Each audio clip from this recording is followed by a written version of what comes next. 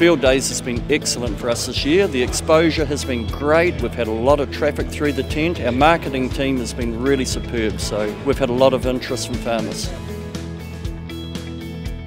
Tru-Test, we're really focusing on pre-cooling milk for farmers to meet the new requirements under the Ministry of Primary Industries. They've got a new set of regulations coming out which will be enforced by the beginning of 2018. On display at this event we've got a new ice bank that we've developed in-house. That's been great showing farmers that. That's sort of more suitable for the smaller herds.